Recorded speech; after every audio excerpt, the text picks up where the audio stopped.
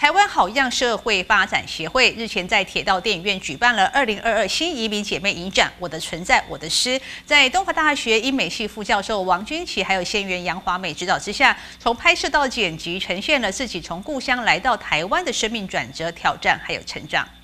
由台湾好样社会发展协会举办的二零二二新年移民姐妹影展《我的存在，我的诗》，六日在花莲铁道电影院播映，邀请越南籍的陶世贵、刘金枝、中国籍的玫瑰李红梅与曾玉玲五位新著名女性导演，透过镜头记录分享从故乡来到台湾的生命故事。我觉得很很不容易，但是很有意义的一个一个一个成果，因为这里面所有的一切其实都是由他们决定故事要怎么说，观点要怎么摆。那大家会在这上面看到，可能以一般的专业的纪录片来讲，会觉得技术上可能比较没有那么成熟。但我觉得这是业余的纪录片工作者最动人的地方，因为这些不成熟其实是非常的感人，而且诚恳，很真挚。陪伴导演郑玉玲嫁来台湾，从故乡的大小姐变成要照顾台湾家里三个长辈的媳妇，曾因为婚姻问题寻求杨华美的协助，现在成为坚强独立女性，跟女儿展开新生活。六点多上班很早，我我去拍的时候，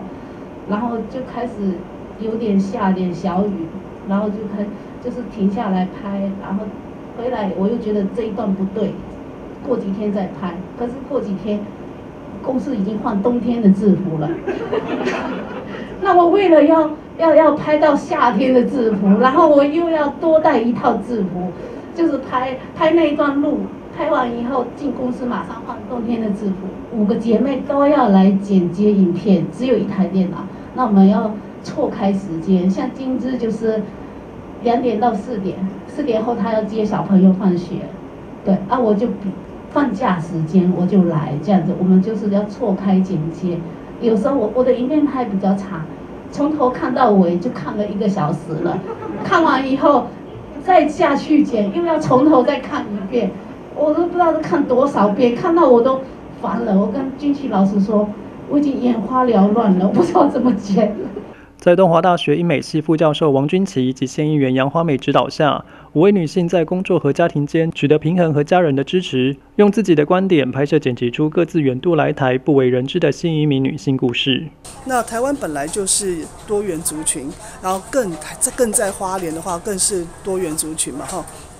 不管闽客、原汉、新住民，其实在台湾的比例是非常的高的。那我们其实出门一看都是。越南河粉店啊、印尼店啊等等的这种店的邻里，就可以知道，其实还有指甲店。哦，那其实可以知道，这些新住民姐妹其实是非常有韧性，在台湾生活的。每一个人她都有自己的故事。我们怎么样透过影像来让他们的故事，他们在台湾的生活更立体化，让更多的人看见这群女性在台湾、在花莲的韧性，然后她以及她在台湾为台湾的社会也好、台湾的家庭也好，然后做出了努力。那这是我觉得在这十几二十年当中很重要的。然后这个影展，它其实更重要的是要呈现这一切。在花莲最早接触新移民工作的社工杨华美表示，在台湾并非所有新移民都能过得顺遂。透过夫家或透过新移民姐妹的联系等，慢慢获得额外知识、技能、社会资源，再落地生根。期盼透过影展，让更多民众认识新移民、新二代动容的生命故事，相互包容体谅，携手让台湾走上正确的价值之路。